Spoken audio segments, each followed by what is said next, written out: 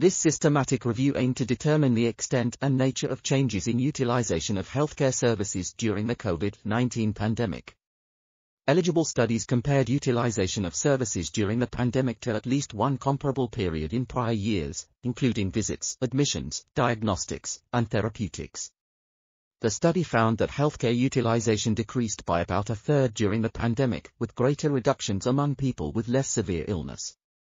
The authors suggest that studies of health impacts of reductions may help health systems reduce unnecessary care in the post-pandemic recovery. This article was authored by Mark Jones, Minna Johansson, Ian Scott, and others. We are RTCL.TV, links in the description below.